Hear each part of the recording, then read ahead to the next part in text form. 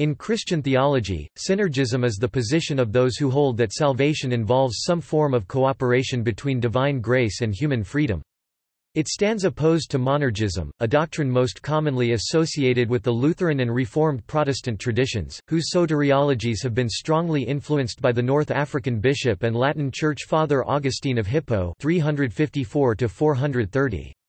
Lutheranism, however, confesses a monergist salvation and synergist damnation see below. Synergism is upheld by the Orthodox and Roman Catholic churches, and by the Methodist and Pentecostal traditions of Protestantism. It is an integral part of Arminian theology. Synergism and semi-Pelagianism each teach some collaboration in salvation between God and man, but semi-Pelagian thought teaches that the beginning half of faith is an act of human will.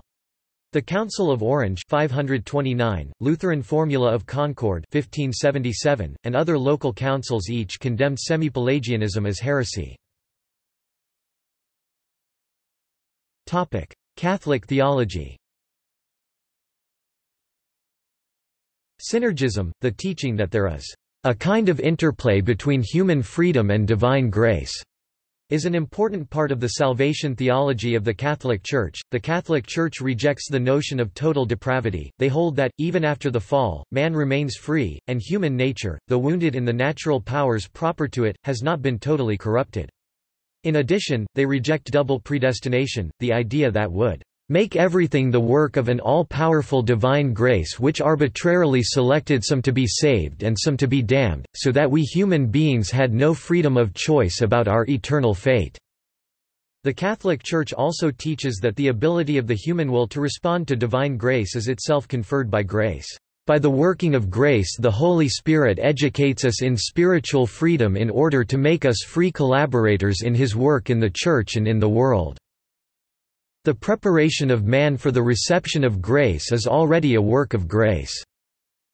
When Catholics say that persons cooperate in preparing for and accepting justification by consenting to God's justifying action, they see such personal consent as itself an effect of grace, not as an action arising from innate human abilities. When God touches man's heart through the illumination of the Holy Spirit, man himself is not inactive while receiving that inspiration, since he could reject it, and yet, without God's grace, he cannot by his own free will move himself toward justice in God's sight. Eastern Orthodox theology James R. Payton discusses the Eastern Orthodox view of the synergism versus monergism debate as follows. A distinctive element in the Orthodox understanding of how the Holy Spirit works deification within us is the doctrine of synergy, working together. This working together is the collaboration of God's grace and a person's will. While Western Christianity has argued about the alternatives of monergism and synergism, that is, the question of whether salvation is accomplished only by God or by God and human beings cooperating this issue did not become a tension within orthodoxy.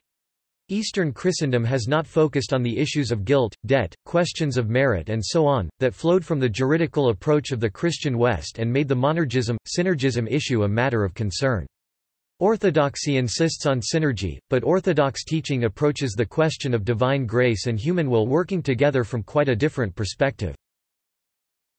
The Eastern Orthodox view of synergism holds that Humans beings always have the freedom to choose, in their personal gnomic wills, whether to walk with God or turn from Him. But, what God does is incomparably more important than what we humans do. To describe the relation between the grace of God and human freedom, Orthodoxy uses the term cooperation or synergy synergia. .In Paul's words, we are fellow workers with God 1 Corinthians e. 9. If we are to achieve full fellowship with God, we cannot do so without God's help, yet we must also play our own part, we humans as well as God must make our contribution to the common work, although what God does is of immeasurably greater importance than what we do. For the regenerated to do spiritual good, for the works of the believer being contributory to salvation and wrought by supernatural grace are properly called spiritual, it is necessary that he be guided and prevented preceded by grace. Arminian Protestants share this understanding of synergism, i.e., regeneration as the fruit of free will's cooperation with grace. Lutheranism Lutheranism describes its soteriological position as a monergistic salvation and a synergistic damnation. By monergistic salvation, Lutherans mean that saving faith is the work of the Holy Spirit alone, while man is still the incooperative enemy of God Rom. 5 10. To support their understanding of synergistic damnation, they argue that Scripture states repeatedly that man participates in and bears the responsibility for resisting God's grace of the free gift, not enforced gift, of salvation X, Matt, 23:37, Heb, 12:25, Acts chapter 7 verse 51, John chapter 16 verse 9, Heb, 12:15, etc. Lutherans understand their view to be in contrast to Calvin's monergistic damnation and to Arminius' synergistic salvation. However, Calvinists would take issue with their view being called monergistic damnation, since they claim to agree with Lutherans and Arminians that mankind alone bears responsibility for their sin and for their rejection of God's worldwide call to repent and be saved. The difference Lutheranism has with Calvinism and Arminianism, then, lies in how they describe the workings of God's will, foreordination, and gracious providence. Lutheranism teaches that God predestines some to salvation but does not predestine others to damnation as God wills that all might be saved 1 Tim 2-3-6, Rom, 1132, etc. This differs from the Calvinist and Arminian view that God from eternity actively decrees some to salvation and some to damnation, with Arminians understanding that God bases his eternal decree upon his foreknowledge of men's synergistic acceptance or rejection of salvation, and with Calvinists arguing that God's predestination logically precedes his foreknowledge of it. For Lutherans, people freely reject God's call to salvation because they refuse His grace since God did not predestine them to salvation. For Arminians, people freely reject God's call to salvation because God decrees, based upon His foreknowledge, that they will reject His grace. For Calvinists, people freely reject God's call to salvation because God eternally chooses not to place His saving grace upon them so as to magnify the value of His undeserved grace to those whom He does choose.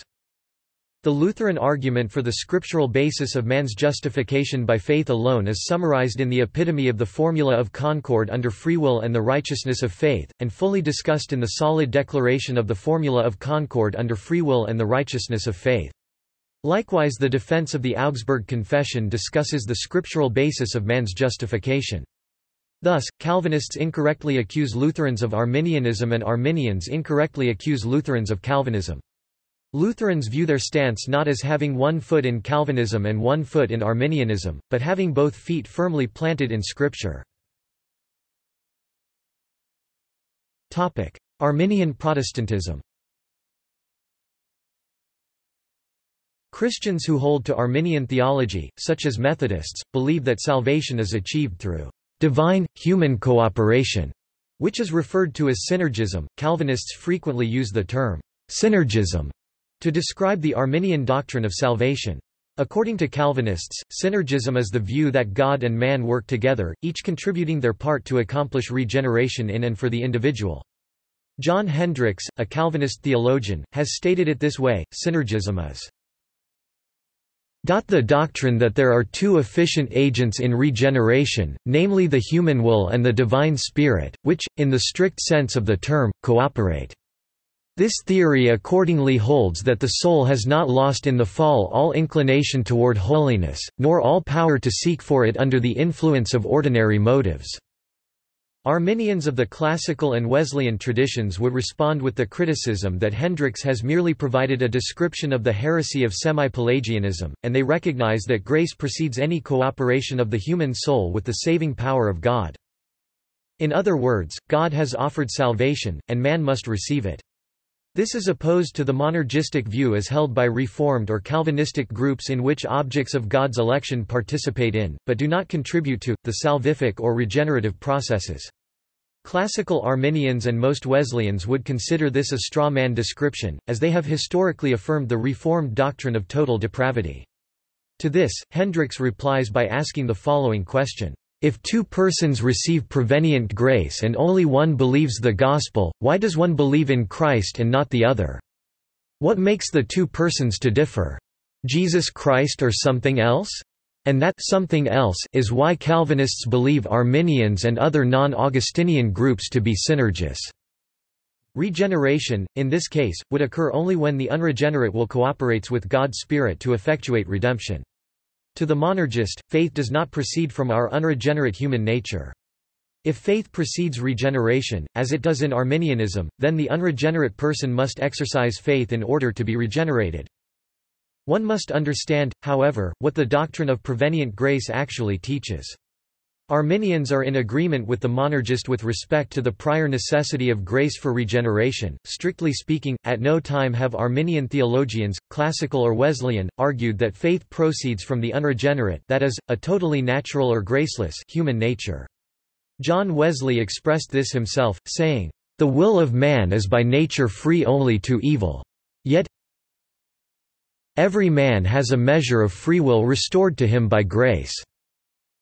Natural free will in the present state of mankind, I do not understand, I only assert, that there is a measure of free will supernaturally restored to every man, together with that supernatural light which enlightens every man that comes into the world. This is not a statement about natural ability, or about nature as such working of itself, but about grace working through nature. Arminians, therefore, hold a position which may be summarized in the following way, a human being cannot, on his or her own, turn to God. God grants all sinners prevenient grace prevenient meaning, coming before. With this prevenient grace or with its effects on the fallen human, a person is able to freely choose to place faith in Christ or reject his salvation. If the person accepts it, then God justifies him and continues to give further grace to spiritually heal and sanctify him. In response to Hendryx's question about the two individuals receiving prevenient grace and only one being saved, the Arminian would reply that the one who was saved freely chose faith, but only had the power to choose faith because of the prevenient grace, whereas the one who was not saved had the same assistance from prevenient grace and thus the same ability to choose, but freely chose not to have faith. Whether this is characterized as synergy will depend upon one's definition. It differs, however, from semi-Pelagianism, which maintains that a human being can begin to have faith without the need for grace. In addition, the Arminian might say that the person's decision is not the cause of his salvation or loss, but rather that his free response to prevenient grace forms the grounds for God's free decision. The person's decision does not constrain God, but God takes it into consideration when he decides whether to complete the person's salvation or not. An analogy may be seen in that when Angela offers to pay off a loan for Brian, Angela offers freely. If Brian declines, Angela could still choose to pay off the loan in theory, and if Brian consents, Angela is still not constrained to pay it off. Rather, Brian's response informs Angela's decision to either settle or not settle the loan. In like manner, God takes the person's response to the gospel, empowered by prevenient grace, into account as relevant information when freely choosing whether or not to save that person. Therefore, the person's choice does not work alongside God. For this reason, many Arminians do not view the term synergism as an accurate description of their theology.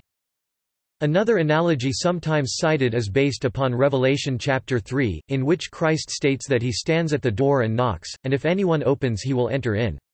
Arminians assert that Christ comes to each person with prevenient grace, and if they are willing for him to enter, he enters them.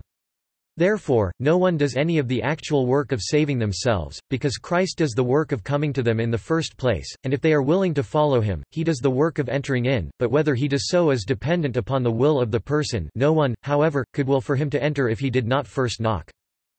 This is similar to the position taken in the conferences of John Cassian. In this work, the matter of grace and faith is taken as analogous to that of the invalids that Christ healed. That Christ met the ill persons where they were is likened to prevenient grace because unless Christ went to them, the invalids would have had no opportunity to ask him for help. Likewise, without prevenient grace no sinner would be able to ask God for help. The actual asking for help comes from the free choice of the invalid or person in question. It is made possible by Christ's presence by prevenient grace, but there is no necessary outcome. Christ's presence prevenient grace leaves a person able to ask for help, but also able to refuse to ask for help.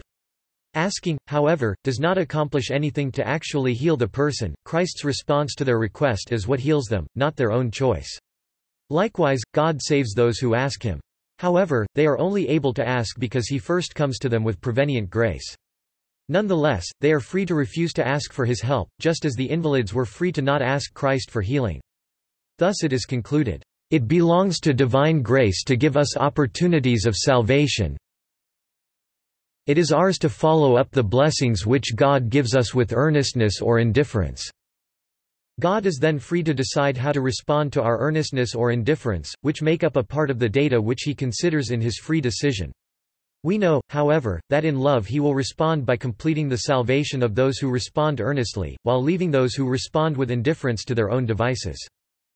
In the Thirteenth Conference, Cassian also uses the analogy of a farmer. Although the farmer must choose to work the farm, the growth of his crops is entirely due to God. God provides the growth, but he does so only for those who are willing to have that growth and actualize this through their effort. See also